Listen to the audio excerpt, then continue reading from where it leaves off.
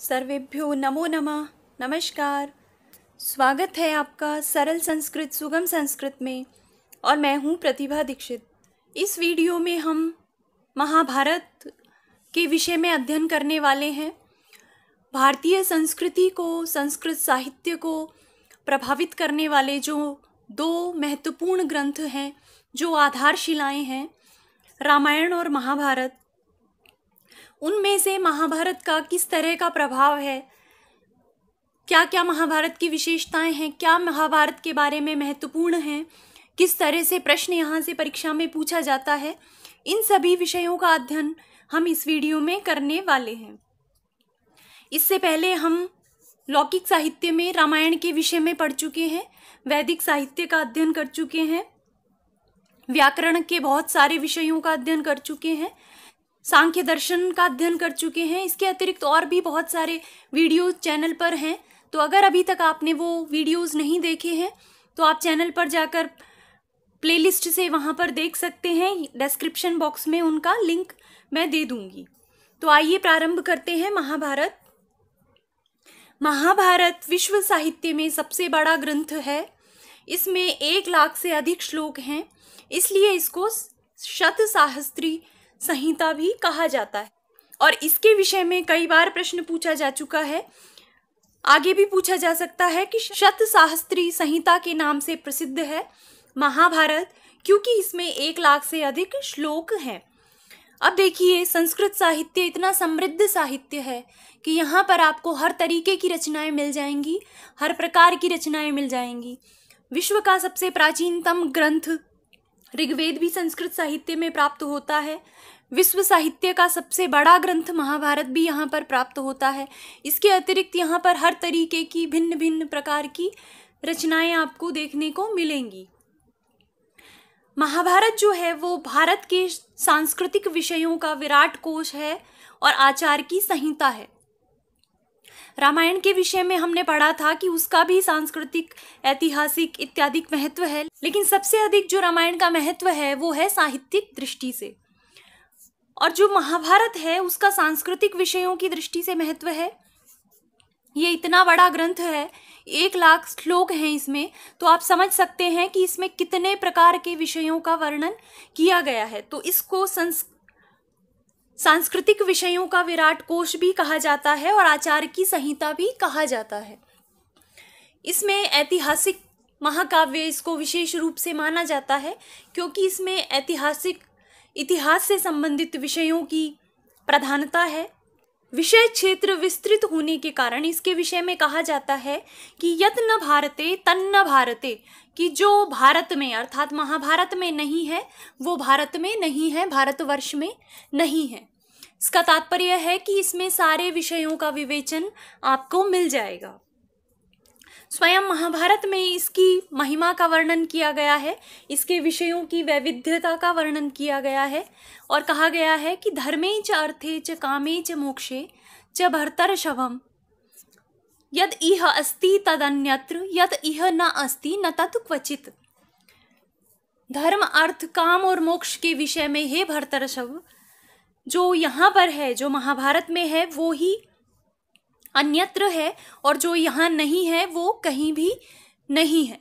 तो ये इसकी विषय का वैविध्य है, विषय की विस्तृतता है कि इसका जो विषय क्षेत्र है, वो इतना विस्तृत है। इसके रचयिता जो हैं, वो कृष्ण द्वैपायन वेद व्यास माने जाते हैं। ये एक मुनि है जिनका श्याम रंग होने के कारण जिनको कृष्ण कहा गया।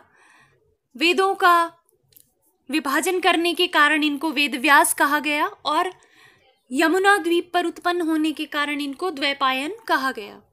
तो कुछ विद्वानों का ऐसा मत है कि कृष्ण द्वैपायन वेद व्यास इनका नाम नहीं होकर इनकी उपाधि है। तो आप कैसे भी समझ सकते हैं, अगर प्रश्न पूछा जाए, महाभारत के रचयिता कौन है तो कृष्ण द्वैपायन वेद व्यास इनकी माता का नाम सत्यवती था और इनके पिता थे पाराशर। इनके विषय में ऐसा प्रसंग आता है कि तीन वर्षों के कठिन परिश्रम के पश्चात इन्होंने महाभारत की रचना की। त्रिभी वर्षई सदोत्थाई कृष्ण द्वैपायनो मुनि महाभारतम आख्यानम कृतवान इदम उत्तमम। कि तीन वर्षों के अत्यधिक परिश्रम से ये उत्तम काव्य की रचना कृष्ण द्वैपायन ने की है कृष्ण द्वैपायन मुनि ने की है। इसका जो प्रमुख रस है वो है शांत रस। अब आपको ऐसा लगेगा कि महाभारत में पांडवों और कौरवों के युद्ध का विवेचन है, किंतु आप ऐसा कभी ना सोचें कि युद्ध का विवेचन होने के कारण यहाँ वीर रस प्रधान है या भयानक रस प्रधान है। यहाँ पर शांत रस की प्रधानता है। इसके जो नायक हैं, वो श्री कृष्ण हैं। हालाँकि युद्ध पांडवों और कौरवों के बीच में होता है और कथा पूरी उनकी वर्णित है, किंतु श्री कृष्ण की अत्यधिक भूमिका है यहाँ पर। बहुत बड़ी भूमिका है। तो यहाँ महाभारत के जो नायक हैं, वो हैं श्री कृष्ण महाभारत अट्ठारह पर्वों में विभक्त है और परिशिष्ट के रूप में इसमें हरिवंश पर्व भी प्राप्त होता है। अर्थात अठारह पर्व तो हैं इसमें और इसके अतिरिक्त एक परिशिष्ट के रूप में पर्व प्राप्त होता है। खिल पर्व के रूप में प्राप्त होता है हरिवंश पर्व। खिल का तात्पर्य है ये वेदों के विषय में भी हम पढ़ चुके हैं। खिल का तात्पर्य है प्रक्षिप्त, जो बाद में जोड़े गए हैं, जो मूल ग्रंथ में नहीं थे। तो ऐसा एक हरिवंश पर्व भी यहाँ पर प्राप्त होता है और इसके विषय में भी कई बार परीक्षा में प्रश्न पूछ लिया जाता है कि महाभारत का परिशिष्ट पर्व कौन सा है? इस प्रकार से या फिर महाभारत का मुख्य पर्व नहीं है तो उसमें इन अट्ठारह पर्वों में से किसी का नाम देकर और एक हरिवंश पर्व भी दे दिया जाएगा। तो आप याद रखिए, हरिवंश पर्व जो है, वो परिशिष्ट पर्व है, खिल पर्व के रूप में है। हरिवंश पर्व जो है, इसको वैशंपायन ने जनमेज्य को सुनाया था। इसका भी आप याद रखिए, क्योंकि इसके विषय में भी कई बार प्रश्न आता है कि हरिवंश पर्व को किसने किसको सुनाया? तो वैशंपायन ने जनमेज्य को सुनाया। इसमें भगवान श्री कृष्ण का जीवन चरित वर्णन है। उनके वंशादि की कथा इसमें वर्णित है। महाभारत के तीन प्रसिद्ध संस्करण प्राप्त होते हैं। जैसे रामायण के विषय में हमने पढ़ा था कि उसके चार प्रसिद्ध संस्करण हैं। इसी प्रकार महाभारत के तीन स्थानों से अलग अलग पाठ प्रकाशित होते हैं और वो संस्करण है। कलकत्ता संस्करण बम्बई संस्करण और मद्रास संस्करण। इनमें से जो कलकत्ता संस्करण है, वो हरिवंश पर्व के सहित प्राप्त होता है।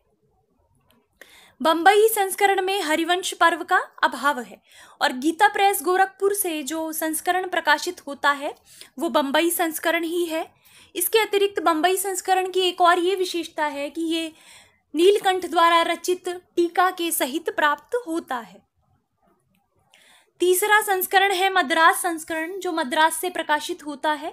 ये भी हरिवंश पर्व के सहित ही प्रकाशित होता है। तो कुछ इनमें पाठ भेद हैं और अलग अलग जगह से प्रकाशित होने के कारण ये तीन संस्करण महाभारत के प्रसिद्ध हैं।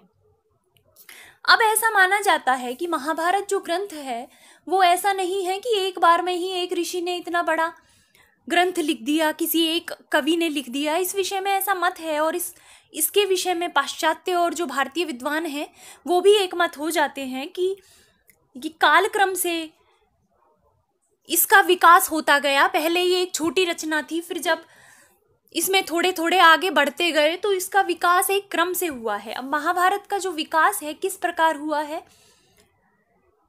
उसके विषय में भी कई बार परीक्षा में प्रश्न पूछ लिया जाता है। तो सबसे पहला जो महाभारत लिखा गया था, वो जय नाम से प्रसिद्ध था, उसमें अट्ठासी सौ श्लोक थे। इसको व्यास ने वैशंपायन को सुनाया और इसकी जो मुख्य विषय वस्तु है, वो है धर्म चर्चा। इसके अंतर्गत अधर्म पर धर्म की विजय का निरूपण किया गया है और ये जो जय है, जो ऐसा माना जाता है कि मूल महाभारत थी, इसका जो प्रारंभ है, वो महाभारत की वर्तमान में जो प्राप्त है, उसके आदि पर्व के पैंसठवें अध्याय से ये प्रारंभ होती है। जय के पश्चात इसमें कुछ और श्लोक जोड़ दिए गए और फिर ये भारत के नाम से प्रसिद्ध हुई। इसमें चौबीस हज़ार श्लोक थे। इसमें उपाख्यानों का अभाव था। इसमें जो मुख्य कथा है, कौरव पांडवों के युद्ध की, उसका वर्णन था। इसमें उपाख्यान नहीं थे।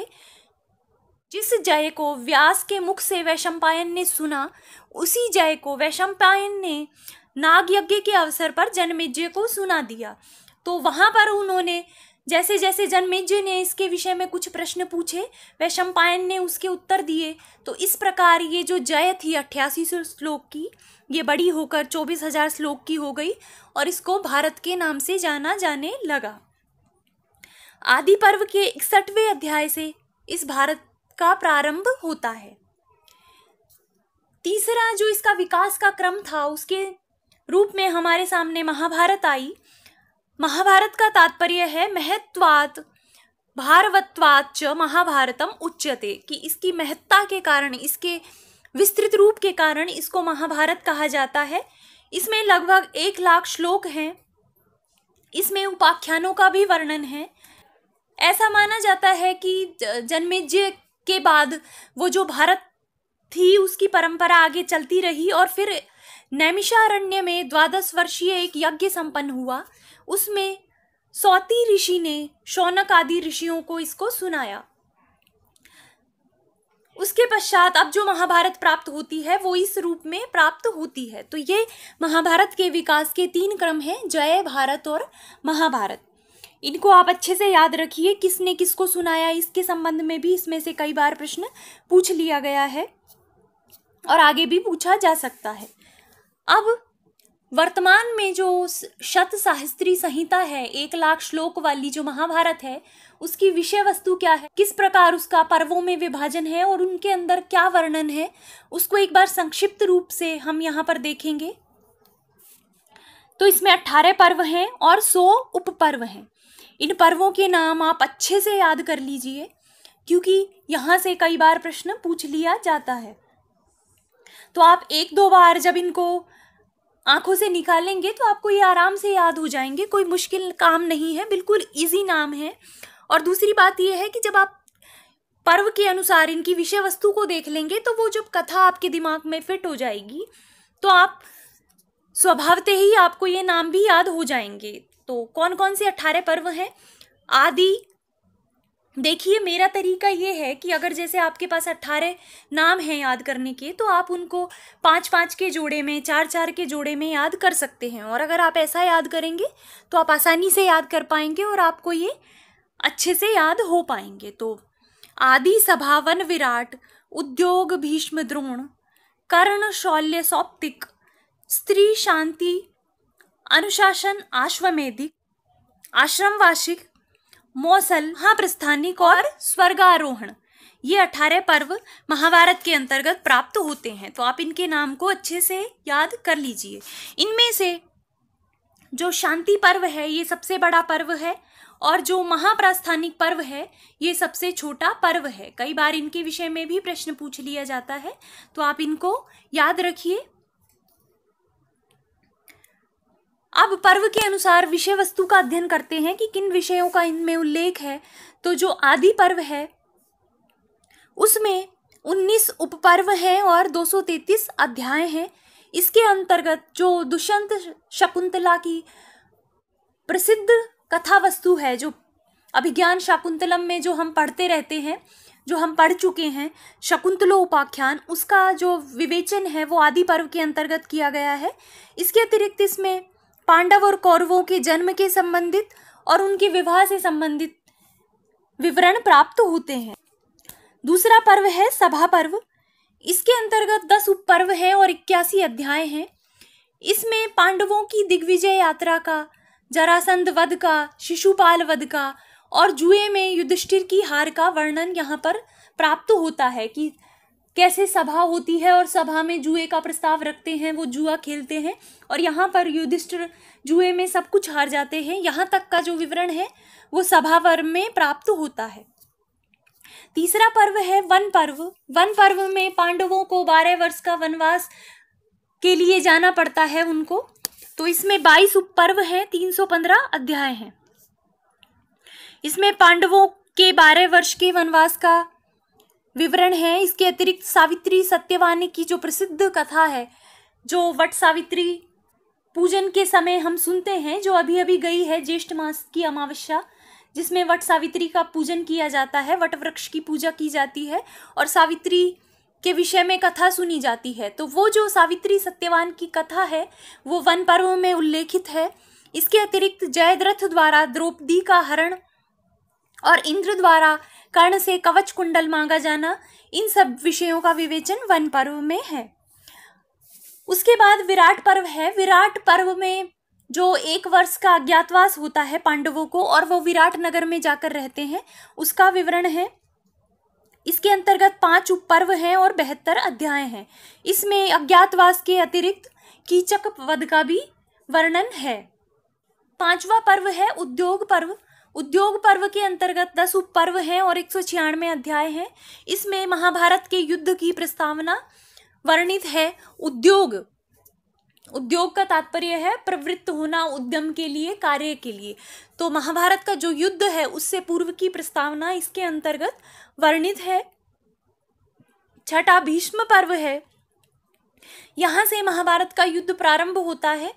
इसमें पाँच उपपर्व और 122 अध्याय हैं।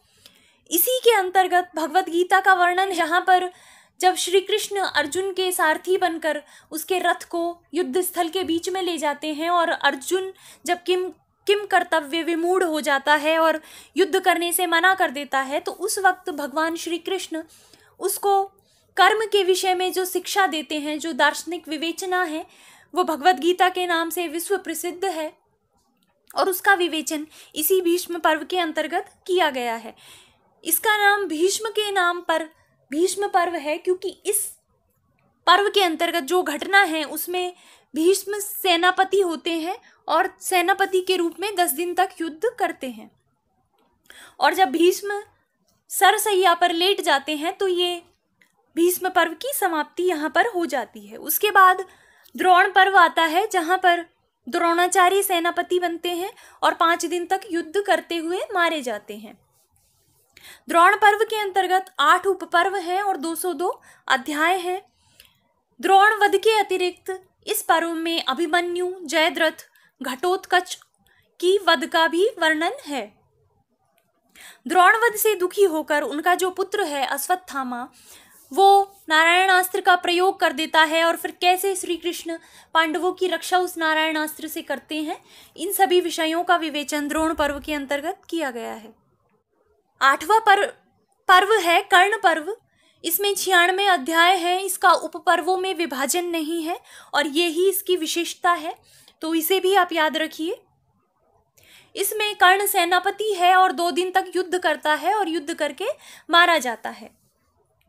कर्ण के अहम तुष्टि के लिए जो मद्र नरेश हैं, शल्य, उनको कर्ण का सेनापति बनाया जाता है। अब ये कथा विवेचित है। आपने महाभारत देखी भी होगी, जो टीवी में आता था सीरियल। इसके अतिरिक्त हो सकता है, आपने पढ़ी भी हो। तो आपको पता है कि कर्ण जो सूत पुत्र कहकर उसका अपमान किया जाता है तो उस प्रसंग कर्ण के अहम को आघात पहुँचता है और उसकी तुष्टि के लिए वो मद्र नरेश जो शल्य है, उनको अपना सेनापति बनाता है। उनको अपना सारथी बनाता है। और शल्य और कर्ण में परस्पर निंदक वाग युद्ध का वर्णन भी इस पर्व के अंतर्गत किया गया है। अगला पर्व है शल्य पर्व, जिसके अंतर्गत शल्य सेनापति बनते हैं। इसमें दो उपपर्व हैं और पैंसठ अध्याय हैं। महाभारत के अंतिम अठारहवें दिन के युद्ध का वर्णन यहाँ पर किया गया है और इसमें पांडवों की विजय का उल्लेख किया गया है। तो कई तरह से यहाँ से प्रश्न आ जाता है आप इसको अच्छे से पढ़िए और इसको थोड़ा सा दिमाग लगाकर पढ़िए, दिमाग को खोलकर पढ़िए। इसमें से इस तरह से प्रश्न आ सकता है कि कितने सेनापति बनाए गए। कौरवों की सेना में तो आप देखिए, भीष्म से प्रारंभ कीजिए। भीष्म, द्रोण, कर्ण, शल्य तो चार सेनापति बनाए। इसके अतिरिक्त अठारहवें दिन युद्ध किसने किया? इस तरह का वर्णन आ सकता है। या शल्य कौन से प्रदेश का राजा था तो मद्र का था, इस तरह से प्रश्न यहाँ से आ सकते हैं। दसवां पर्व है सौप्तिक पर्व। सौप्तिक का तात्पर्य है सोते हुए। इस पर्व में एक विशेष घटना का उल्लेख है कि पांडवों की सोई हुई सेना पर आक्रमण कर दिया जाता है कृपाचार्य, कृतवर्मा और अश्वत्थामा के द्वारा। और जो द्रौपदी के पाँच पुत्र सोए हुए थे, उनको पाँच पांडव मानकर, युधिष्ठर आदि मानकर उनका उनकी हत्या कर दी जाती है, वध कर दिया जाता है। तो इस तरह की घटना का उल्लेख सौप्तिक पर्व में प्राप्त होता है। उसके बाद स्त्री पर्व है। स्त्री पर्व में एक श्राद्ध उपपर्व है, जिसमें जो कुंती है, वो युधिष्ठिर से कर्ण का श्राद्ध करने के लिए कहती है, क्योंकि कर्ण की मृत्यु हो चुकी है। कर्ण पर्व के अंतर्गत ये हम पढ़ चुके हैं कि कर्ण मारा जाता है।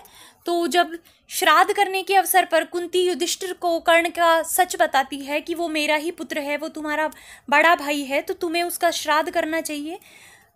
तो कर्ण के विषय में युधिष्ठिर जब ऐसा सुनते हैं कि वो मेरा बड़ा भाई था तो वो दुखित हो जाते हैं, क्रोधित हो जाते हैं और स्त्री जाति को शाप देते हैं कि माता, आपने मुझसे इतनी बड़ी बात छुपाई तो मैं ये स्त्री जाति को शाप देता हूँ कि अब के बाद वो अपने पेट में कोई बात नहीं पचा पाएँगी। तो ये युधिष्ठिर के शाप का ही नतीजा है जो हम देखते हैं।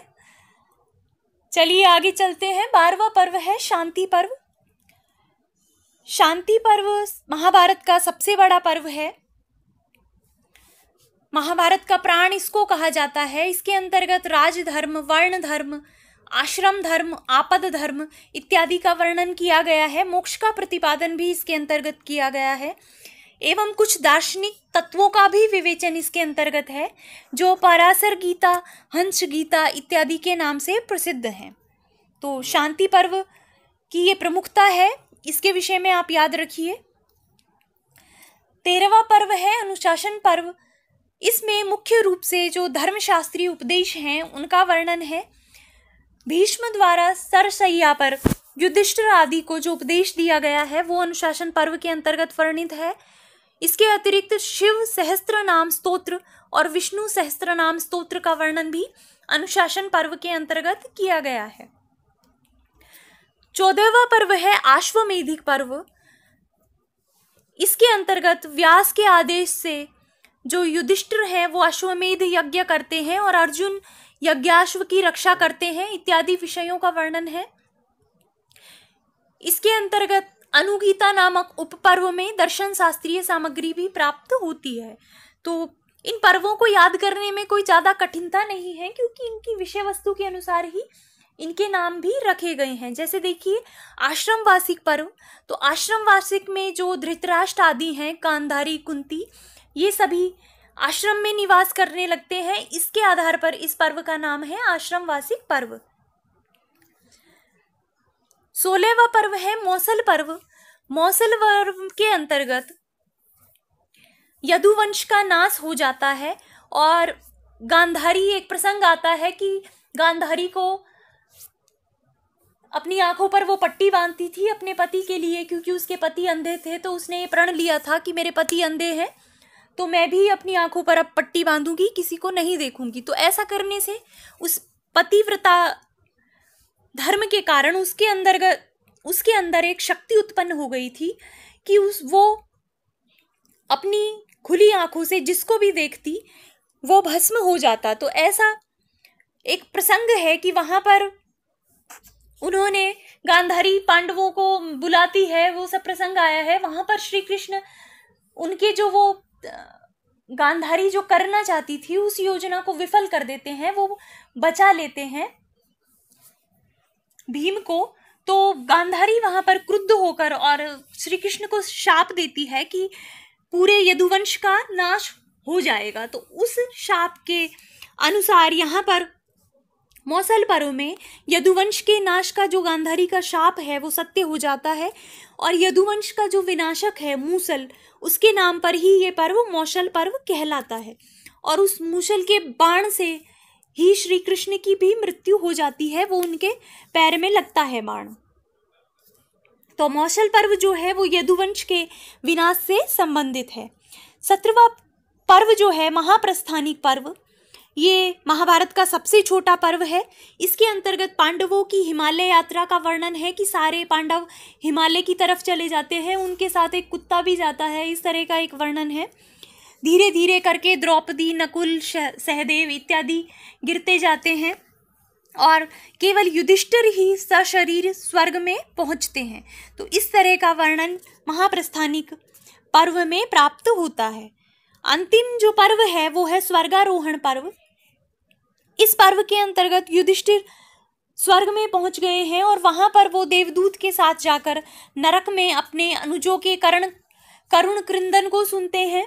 वो वृत्तांत यहाँ पर वर्णित है। दूसरा, वो स्वर्ग में कृष्णादि से उनका मिलन होता है। महाभारत का महात्म्य इस पर्व के अंतर्गत बताया गया है। महाभारत का सार इस पर्व के अंतर्गत बताया गया है और उस सार को भारत सावित्री भी कहा जाता है। तो ये महाभारत की विषय वस्तु है। तो आप एक दो बार जब इसको पढ़ेंगे तो बहुत ही आसानी से आपको ये याद हो जाएगा। आपको इसके विषय में जानना भी ज़रूरी है, क्योंकि इसके अंदर से कई बार प्रश्न पूछ लिए जाते हैं। अब महाभारत जो है, वो एक ऐतिहासिक महाकाव्य है, जिसका प्रभाव संस्कृत साहित्य पर अत्यधिक पड़ा है। तो इसके अंतर्गत कुछ ऐसे विशिष्ट विवरण हैं कुछ ऐसे विशिष्ट ग्रंथात्मक अंश हैं, जिनके आधार पर बहुत सारी रचनाएँ हुई हैं। तो कौन कौन से मुख्य हैं, उसके विषय में भी हम देख लेते हैं। सबसे पहला है प्रसिद्ध शकुंतलो उपाख्यान, जिसका वर्णन आदि पर्व में किया गया है। आदि पर्व के अड़सठवें से चौहत्तरवें अध्याय तक शकुंतलो उपाख्यान वर्णित है, जिसमें पुरुवंशी दुष्यंत और शकुंतला की दूसरा प्रसिद्ध आख्यान यहाँ पर प्राप्त होता है, नल से संबंधित आख्यान, नलोपाख्यान। ये वन पर्व में तरेपन से उनासीवें अध्याय तक वर्णित है। इसमें निषद देश के राजा नल और विदर्भ राज की पुत्री दमयंती की प्रेम कथा वर्णित है कि कैसे नल दमयंती के सौंदर्य का सुनकर उसके प्रति आकृष्ट हो जाते हैं और फिर हंस को वहाँ पर भेजते हैं और हंस से नल के गुणों का वर्णन सुनकर जो दमयंती है, वो भी उनके प्रति अनुरक्त हो जाती है, आसक्त हो जाती है। और फिर उसके स्वयंवर में पाँच देवता जो चार देवता हैं, वो उसको दूत बनाकर भेजना चाहते हैं नल को। इस तरह की जो कथा है, वो वन पर्व में वर्णित है। और उसी के आधार पर श्रीहर्ष ने नैषदीय चरित की रचना की है। तीसरा, महाभारत में राम उपाख्यान भी प्राप्त होता है। इसके अंतर्गत वन पर्व में दो सौ चौहत्तर से दो सौ इक्यानवे अध्याय तक रामोपाख्यान प्राप्त होता है, जिसमें युधिष्ठिर को सांत्वना देने के लिए मार्कंडेय मुनि राम के विषय में उसको प्रसंग सुनाते हैं। तो इसमें उत्तरकांड से पूर्व तक की कथाओं का ही वर्णन है। तो रामोपाख्यान से ये अनुमान लगाया जाता है कि जो रामायण है, वो महाभारत से पूर्व थी। राम महाभारत काल से पूर्व हुए थे और इसीलिए रामोपाख्यान का वर्णन यहाँ पर है। इसके अतिरिक्त सावित्री से संबंधित जो उपाख्यान है, वो भी इसके अंतर्गत वर्णित है। वन पर्व में दो सौ बयानवे से दो सौ निन्यानवे अध्याय तक इसका वर्णन है, जिसे मार्कंडेय ऋषि ने सुनाया था। इसके अंतर्गत जो सावित्री सत्यवान की कथा है कि कैसे सावित्री सत्यवान से विवाह कर लेती है और अंधे जो उनके ससुर हैं, उनके लिए नेत्र मांग लेती है, वापस उनका राज्य प्राप्त हो जाता है। इस तरह की जो कथा है वो वन पर्व में वर्णित है। पांचवा जो प्रसिद्ध भगवत गीता है, उसका विवरण भी महाभारत में है। भीष्म पर्व के अंतर्गत 25 से और बयालीसवें अध्याय तक जो वर्णन है, वो भगवत गीता के नाम से जाना जाता है। भगवत गीता को उपनिषदों का सार भी कहा जाता है। ये विश्व प्रसिद्ध है और अनेक भाषाओं में रूपांतरित रचना है। इसके अतिरिक्त कुछ अन्य प्रमुख ग्रंथ हैं जो महाभारत की कथा को, महाभारत की कथा में जो वर्णित प्रसंग हैं, उनको आश्रित करके लिखे गए हैं। तो कुछ कौन कौन से प्रमुख हैं? किरातार्जुनियम है, जो महाकवि भारवी द्वारा लिखा गया है। इसके अतिरिक्त शिशुपाल वध है। सभा पर्व में जिसका प्रसंग आता है शिशुपाल वध का, उस कथा को आश्रय करके माघ ने इस पर महाकाव्य लिखा है और किरातार्जुनियम शिशुपाल वध और नैष्टीय चरितम ये तीनों वृहत त्रयी के अंतर्गत आते हैं। इनके अतिरिक्त क्षेमेंद्र के द्वारा भारत मंजरी की रचना की गई है, वामन भट्ट के द्वारा नलाभ्युदय की रचना की गई है। महाकवि भास ने बहुत सारे रूपक महाभारत की कथा से प्रेरित होकर लिखे हैं।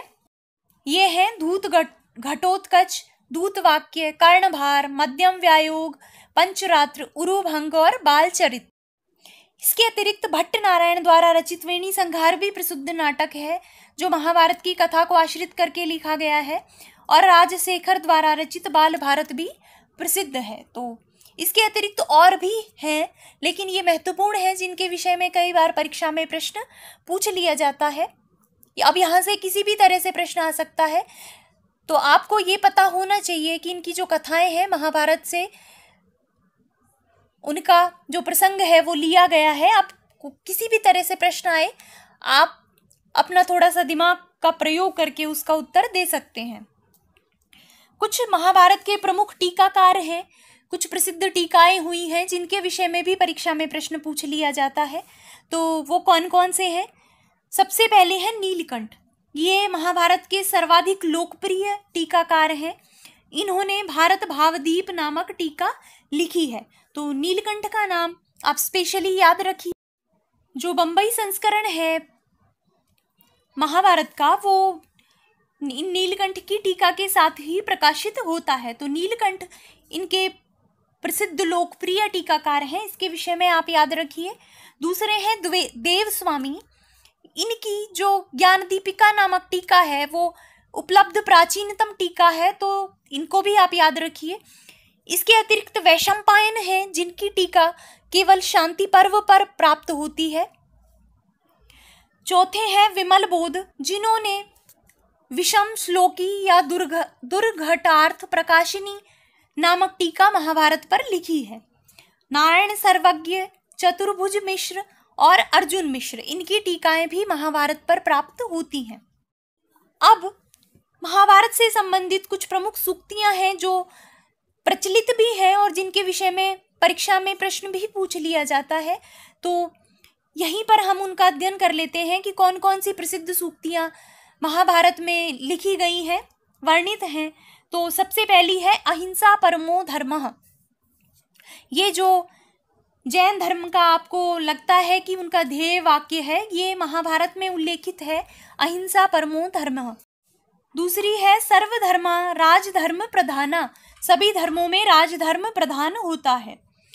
तीसरी जो सूक्ति है, पर्सनली मुझे बहुत पसंद है और मेरी सबसे फेवरेट सूक्ति है, आत्मन प्रतिकूलानी परेशान न समाचरित। जैसा आपको पसंद नहीं हो, ऐसा व्यवहार दूसरों के साथ नहीं करना चाहिए। तो ये जो सूक्ति है, ये भी महाभारत में वर्णित है। चौथी सूक्ति है बहुदारस्य धर्मस्य न इह अस्ति विफला क्रिया। पांचवी सूक्ति है, यतो धर्म ततो जय। जहाँ धर्म है, वहाँ जय है, धर्म की ही जय होती है। और महाभारत में जो प्रमुख इनका प्रतिपाद्य है, वो ये ही है, यहाँ पर अधर्म पर धर्म की जीत को बताया गया है। तो धर्म विषयक विवेचना महाभारत में प्रमुखतया प्राप्त होती है। छठी सूक्ति है, धारणात धर्म इति आहु, धर्मो धारियते प्रजा। धारण करने के कारण धर्म कहा जाता है और धर्म से ही प्रजा को धारित, धारण किया जाता है। तो ये सूक्ति भी महाभारत में वर्णित है। नास्ति मातृ समो गुरु। माता के समान कोई गुरु नहीं है। इसके अतिरिक्त सर्व सर्वम न जानाति, सर्वज्ञो नास्ति कश्चन। अगर आपने इस सूक्ति को अपने मन में बैठा लिया तो फिर आप जीवन में कभी असफल नहीं होंगे, कभी निराश नहीं होंगे, कि जो सभी व्यक्ति सब कुछ नहीं जानते। सर्वज्ञ कुछ नहीं होता। मुझे हो सकता है कुछ विषय आते हों, लेकिन कुछ विषयों का मुझे भी ज्ञान नहीं है। इसी प्रकार हो सकता है कुछ विषय आपको आते हों और कुछ आपको नहीं आते हों। तो प्रत्येक व्यक्ति को प्रत्येक विषय का ज्ञान नहीं हो सकता। हर कोई व्यक्ति सर्वज्ञ नहीं हो सकता। गुरुणा चैव सर्वेशा माता परम एको गुरु। यहाँ पर माता की महत्ता का भी अत्यधिक वर्णन है और माता के विषय में कई सुक्तियाँ यहाँ पर प्राप्त होती है। माता को यहाँ पर परम गुरु बताया गया है। दूसरा जो गंधर्व विवाह को श्रेष्ठतम विवाह कहा गया है, उससे संबंधित सुक्ति भी महाभारत में प्राप्त होती है। यहाँ पर कहा गया है, विवाह नाम ही रंभोरु, गांधर्व श्रेष्ठ उच्चते विवाहों में जो गांधर्व विवाह है, वो श्रेष्ठतम विवाह है। तो यहाँ पर प्रेम विवाह को, गांधर्व विवाह को श्रेष्ठ विवाह बताया गया है। तो ये प्रसिद्ध सूक्तियाँ हैं। इन्हें भी आप याद कर लीजिए, इनके संबंध में भी प्रश्न पूछा जा सकता है। तो महाभारत से संबंधित जितने भी महत्वपूर्ण विषय हो सकते हैं, जितने भी महत्वपूर्ण एस्पेक्ट हो सकते हैं, उन सभी का अध्ययन हमने इस वीडियो में किया है। तो आप इस वीडियो को अच्छे से देखिए, ध्यान से देखिए, बार बार इसका रिवीजन कीजिए। क्योंकि यहाँ से अवश्य ही प्रश्न पूछा जाएगा।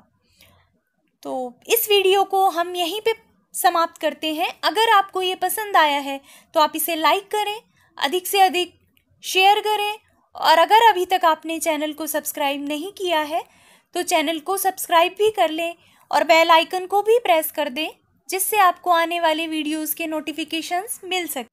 तो मिलते हैं नेक्स्ट वीडियो में एक नए विषय के साथ। तब तक के लिए धन्यवाद।